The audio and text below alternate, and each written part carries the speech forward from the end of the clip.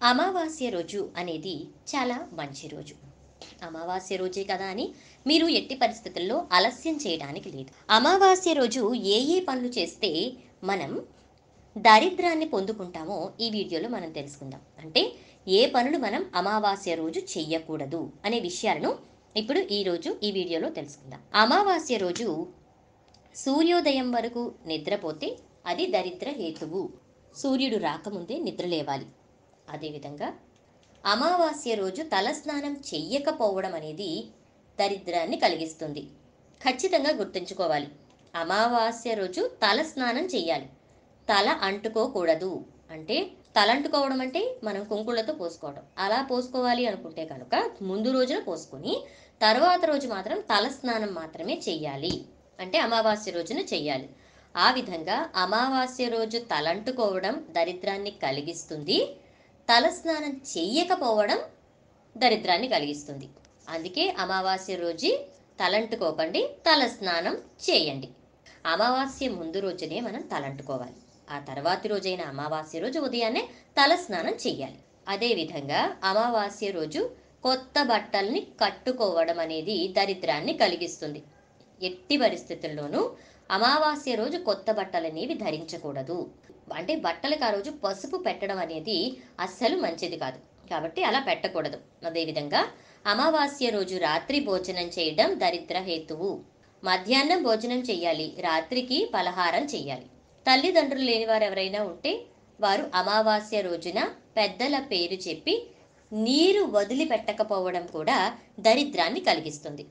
కాబట్టి స్నానం చేసిన వెంటనే పెద్దలకి నీళ్ళు వదిలిపెట్టాలి అదేవిధంగా అమావాస్య రోజు మధ్యాహ్నం పూట నిద్రపోవడం దరిద్ర హేతువు. మధ్యాహ్నం పూట కనుక ఎవరైనా నిద్రపోతే అది ప్రత్యేకించి అమావాస్య రోజు నిద్రపోయారంటే అది దరిద్రాన్ని కలిగిస్తుంది. అదేవిధంగా అమావాస్య రోజున గడ్డం గీసుకోవడము లేదా జుట్టు కత్తిరించుకోవడము లేదా గోర్లు నోటితో తీయడము లేదా గోర్లు తీయడము ఇలాంటి పనులన్నీ చేయడం వల్ల దరిద్ర దేవత యొక్క అనుగ్రహం కలుగుతుంది. కాబట్టి అలాంటి పనులు చేయకూడదు.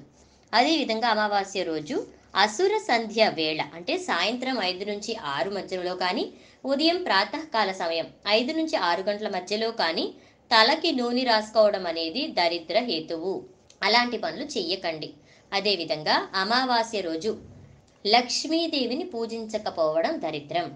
అమావాస్య తిథి అంటే లక్ష్మీదేవికి అమితమైన ఇష్టమైన రోజు. మరి ఆ తిథి రోజున ఆ తల్లిని పూజించకపోవడం అనేది చాలా దరిద్రం. పితృదేవతలకు నమస్కారం చెయ్యకపోవడం అనేది దరిద్ర హేతువు. అమావాస్య రోజు పితృదేవతలను స్మరించుకొని ఖచ్చితంగా నమస్కారం చేసుకోవాలి. ఇక అలాగే ఈ పనులన్నీ కూడా మనం చెయ్యకూడనటువంటి పనుల్ని చెయ్యకుండా ఉంటే మీకు దరిద్రం అనేది రాకుండా ఉంటుంది. ఇవి చెయ్యకూడని పనులు.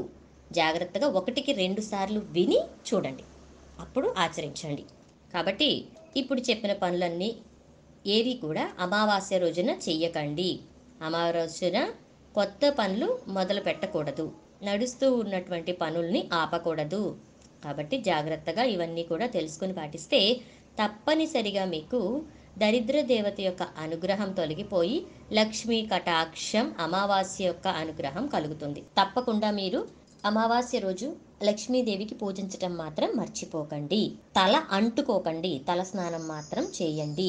పితృదేవతలకు నీళ్ళు వదలండి. అదేవిధంగా పితృదేవతల నామస్మరణ చేయండి. ఇవి చేయాల్సిన పనులు. చెయ్యకూడనివి చెయ్యకండి. కాబట్టి గుర్తుపెట్టుకోండి. వీడియో నచ్చితే లైక్ చేసి షేర్ చేయండి. అలాగే మా ఛానల్ను తప్పకుండా సబ్స్క్రైబ్ చేసుకోండి.